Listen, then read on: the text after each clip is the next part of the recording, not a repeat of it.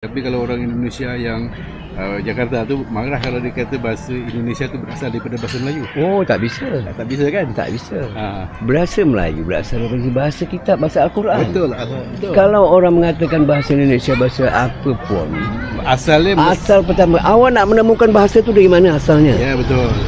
Kalau tidak melalui pada bahasa orang betul ahli kitab, Ya betul betul. baca bahasa pekak yang awak pakai.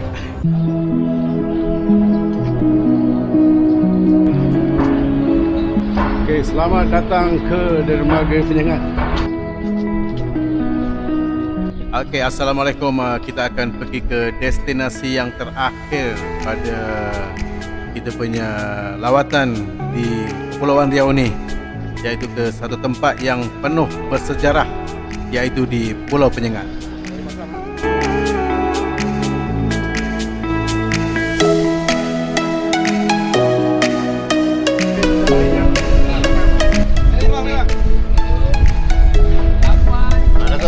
Eh, gaya lah, gaya lah. Gaya, gaya, gaya, gaya. Bismillahirrahmanirrahim. Slow, slow. Empat, lima, enam, tujuh, lapan, sembilan, sepuluh. Aduh, Ah, Lagi seorang, lagi seorang. video gua lagu. Dah, dah. Ah, jangan lebih-lebih. Betul. Ah. Ah, duduk, duduk, duduk. Ah, duduk. Ah, Okey, Pulau Penyengat ini walaupun hanya sebuah pulau yang kecil berbanding dengan pulau-pulau lain di Riau ini, ia ibarat permata. Pernah menjadi pusat peradaban bahasa, perkembangan adat dan budaya, dan juga pengajian dan perkembangan Islam pada zaman kegemilangannya. Dan yang menjadi kebanggaan Pulau Penyengat ini juga pernah menjadi pusat pentadbiran Kesultanan Riau Lingga yang merupakan penerus kepada Kesultanan Melayu Melaka dan juga Kesultanan Johor Riau. Kita ke Pulau Penyengat. Kami masa dalam uh, 15 minit.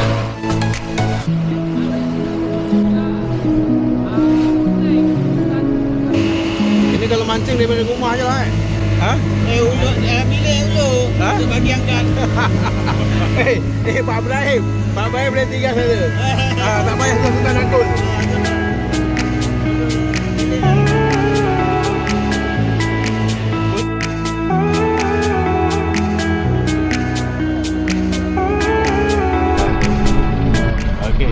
Kita pun sampai di JT Pulau Penyengat.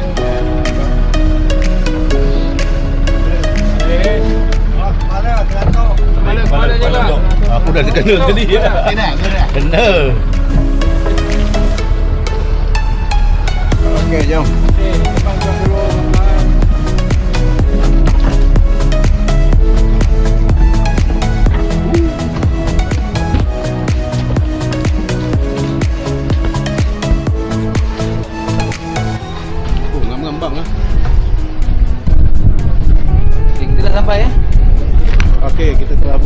pun sampai di jeti Pulau Penyengat. Inilah dia suasana. Dikelilingi oleh rumah air.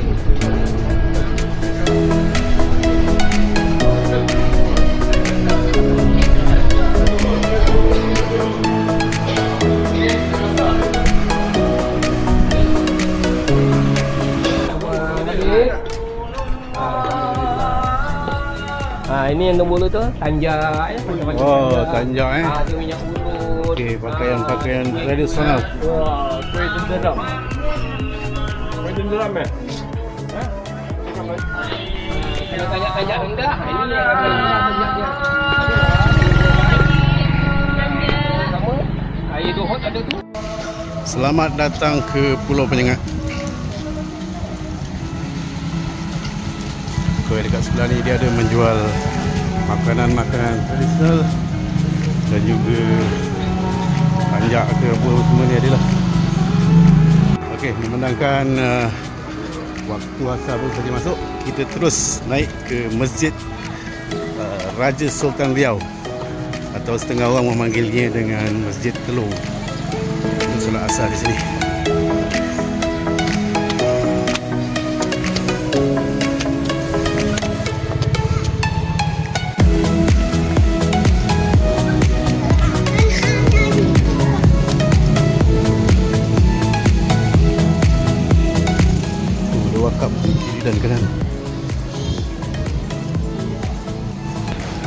Terdapat lima kubah di masjid ni menunjukkan tentang uh, kewajipan solat fardu lima waktu.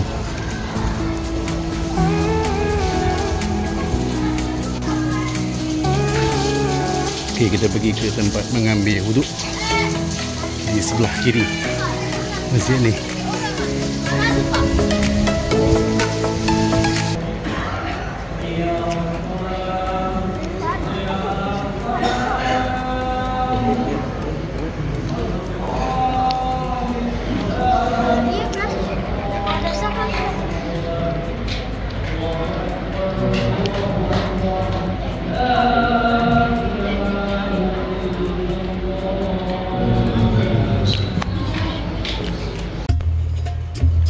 Alhamdulillah kita telah pun selesai menunaikan uh, fardu asar di sebuah masjid yang penuh bersejarah iaitu Masjid Raya Sultan Riau Pulau Penyengat yang dulunya pernah dijadikan pusat pemerintahan kerajaan Riau Lingga.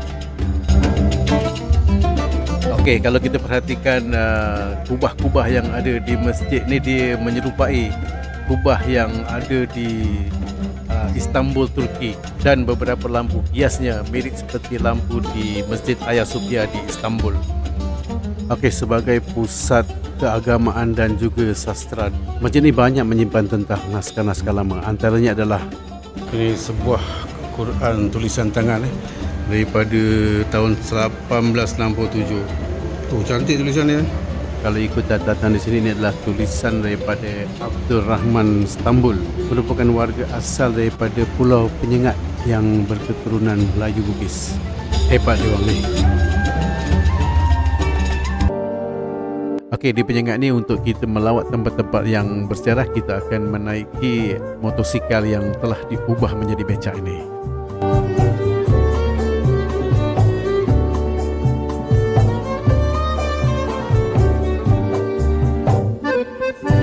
Okey, jadi destinasi yang pertama untuk lawatan kita ke tempat-tempat bersejarah di Pulau Penyengat ini adalah di komplek makam Engku Puteri ataupun Raja Hamidah. Okey, Raja Hamidah ini adalah merupakan anak kepada Raja Haji Fisabilillah dan ia juga merupakan permaisuri kepada Sultan Riau yang ketiga iaitu Sultan Mahmud Shah. Oh, kita akan penerangan. Kita berziarah ke makam Engku Puteri, permaisuri dia. Pihak bidah eh? Yang Hamidah. Pihak bidah eh? Hamidah. Jadi sebelah kanan kita ni salah satu rumah sakit. Kanan. Ini apa ni? Bukan rumah sakit dia. Bukan rumah sakit. Ha, nama dia Gedung Tabib. Ha, Jalan tabib. Ya, dalam tabib. Dulu tempat pengobatan rumah sakit dia.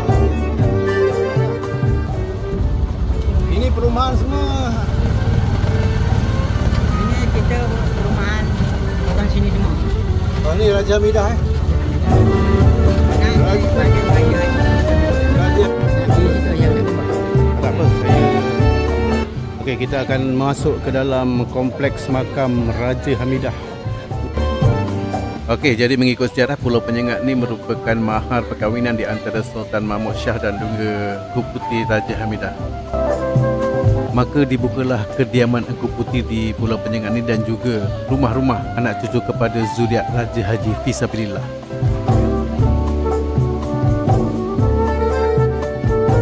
Selain daripada makam Engku Puteri Raja Hamidah, ah, di komplek ini juga turut menempatkan sebuah makam seorang ulama yang juga merupakan ahli sejarah pujangga Melayu Bugis iaitu Raja Ali Haji yang juga merupakan cucu kepada Raja Haji Fisabilillah.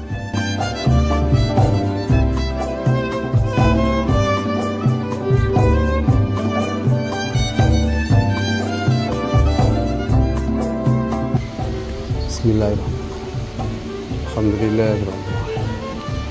الرحمن الرحيم مالك يوم الدين إياك نعبد وإياك نستعين اهدنا الصراط المستقيم صراط الذين أنعمت عليهم غير المغضوب عليهم ولا الضالين Jadi antara jasa Raja Ali Haji ni adalah beliaulah yang memperkenalkan dasar tata bahasa Melayu melalui bukunya iaitu Pedoman Bahasa yang menjadi piawai kepada bahasa Melayu. Dan bahasa ini jugalah yang kemudiannya dijadikan sebagai bahasa Indonesia yang berteraskan kepada bahasa Melayu. Walaupun penutur bahasa Melayu di keseluruhan Indonesia pada waktu itu kurang daripada 15%. makam Raja Ali Haji wafat pada 1873. So kita masuk di dalam pemakaman utama dalam komplek ni.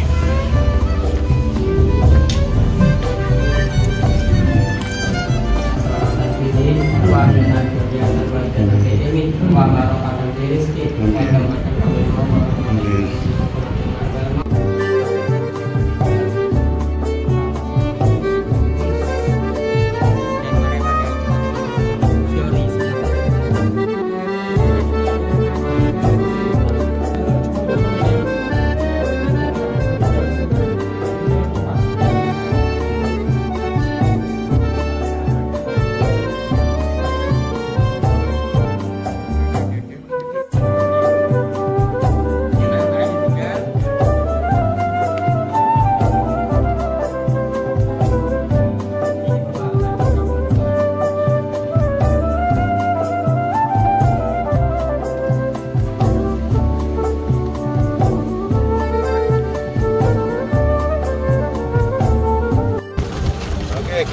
teruskan perjalanan. Lepas ni pergi mana, Pak? Menuju ke makam Raja Haji Fisabilillah. Makam Raja Haji. Nah, makam Raja Haji Fisabilillah.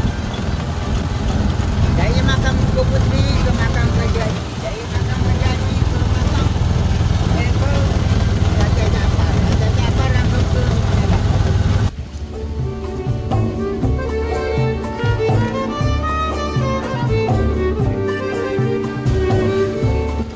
Makam Habib Syekh Al-Awi As-Sagaf. Dan di sebelah sini adalah kompleks makam Raja Haji Fisabilillah. Raja Haji ini adalah merupakan seorang pahlawan Melayu yang juga yang di-Pertuan Muda Johor Riau Lingga yang keempat. Beliau telah mangkat semasa melawan Belanda di Teluk Ketapang Melaka atau sekarang dikenali sebagai Teluk Mas. Putera beliau yang bernama Raja Jaafar Abangnya dari Raja Midah memindahkan Mengulang beliau dari Melaka itu ke sini Ke Pulau Penyet ini. Uh, Beliau ni salah satu uh, adik-beradik Sultan Selangor pertama Sultan Salahuddin Raja Lumu. Uh, Raja Lumu dimakamkan di Selangor Beliau ni di, di Pulau Penyet. Uh, Yang di sebelah sini pengasuhnya Empu Puteri Raja Midah. Yang di sana tak dulu tu Habib Syekh bin Habib Habib Syekh ulama dari Yaman. Beliau uh, masih keluarga Habib Noh yang di Singapura.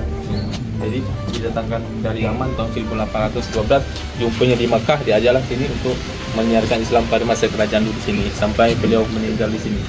Beliau salah satu turun uh, Rasulullah langsung dari jalur Sayyidina Hussein bin Sayyidina Ali. Uh, Raja Haji ini ada tiga orang anak dimakamkan di Pulau Penyengat juga yang pertama Raja Jaafar, yang kedua Raja Hamidah, yang ketiga Raja Ahmad. Raja Ahmad ni yang bapaknya dari Raja Ali Haji yang pengarang Guindam 12 di bawah. Dia satu komplek di bawah sana. Ha, beliau tersendiri nanti makam Raja Jaafar dia di bawah makam anaknya juga yang memindahkan makam beliau yang dari Melaka ke Pulau Pinang ini. Mungkin Pakcik mau ziarah dulu kirim al fatihah untuk beliau semoga berkah boleh ke depan sikit ini boleh lanjut ya. Alhamdulillah. Jadi belakang-belakang masih banyak kalau dia jadi Inilah dia makam Raja Haji Fisabilillah. Okey. Okey, jadi Raja Haji ni adalah merupakan uh, adik-beradik kepada Sultan Selangor. Sultan Selangor yang pertama, Sultan Salahuddin. Destinasi kita sebenarnya di mana ni?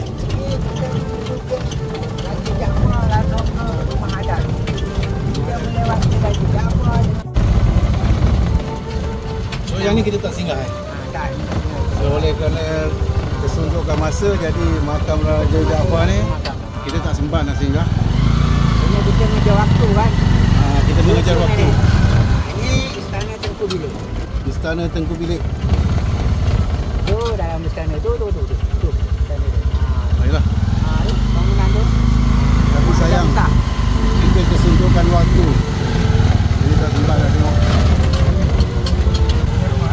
Oh ni rumah adat eh?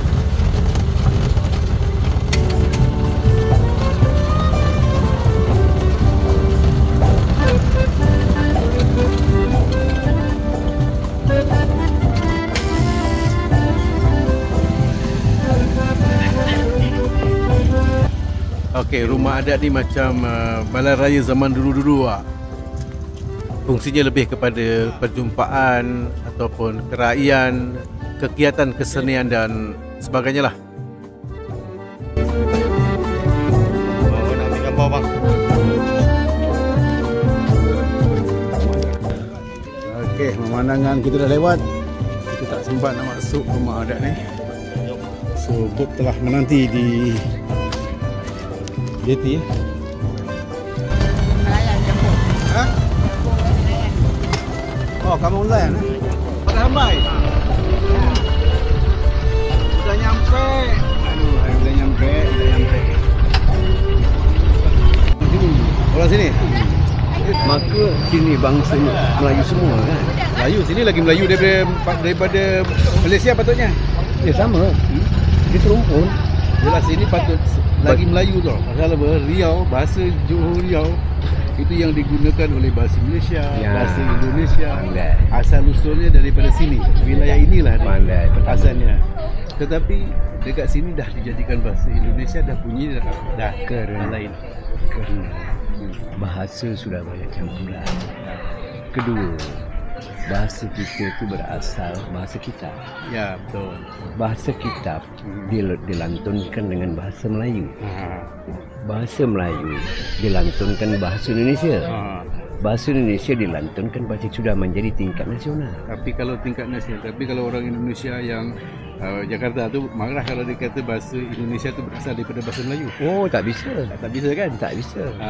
Bahasa Melayu berasal dari bahasa kitab, bahasa Al-Quran. Betul, betul. Kalau orang mengatakan bahasa Indonesia bahasa apa pun, Asalnya asal pertama, awak nak menemukan bahasa tu dari mana asalnya? Ya betul. Kalau tidak melalui pada bahasa orang betul ahli kitab, Ya betul betul. baca bahasa pekak yang awak pakai. Tapi orang dah tunggu, orang dah tunggu. Nanti tu tinggal. Okey, Pakcik terima kasih. Sejarah saya hanya 24 jam. Wah, tapi tidak lah. Patutnya tak boleh sembang tadi. Masa tak ada. Makna bahasa kita tu Hmm. bukan bahasa dan bahasa dah banyak campuran. Betul. Ha, ini macam anak-anak ni. Ha. Itu semuanya macam bahasa bodoh ni. Ha, semua dah ni eh. Dah dah hilang bahasa ni. Dekat bangsa Melayu, Ha? bahasa menunjukkan bangsa. Kalau bangsa kita sudah ada, habis terbakar. Habis kan? Itulah. Terima kasih. Okey, Assalamualaikum. InsyaAllah jumpa lagi. Terima kasih. Tak apa, tak apa, tak apa. Kan jumpa, kan jumpa. Ah, 85 anak-anak. Satu tahun, dua tahun sampai tujuh tahun. Ada. Mana ada anak, cucu, cucu. Cucu Ada. semua dah. Oh, boleh calon boleh. Tengok janggut semua dah putih lah. Boleh je. Ketepenya. Saya punya. Ini berapa satu? Ini 85 anak-anak. Dari umur satu tahun sampai satu ah, Okey. tahun. Ini anak dia. Ini 38. Umur 70 tak ada umur 70. Ah, itu kan ada. Ada. Tok, ya tok.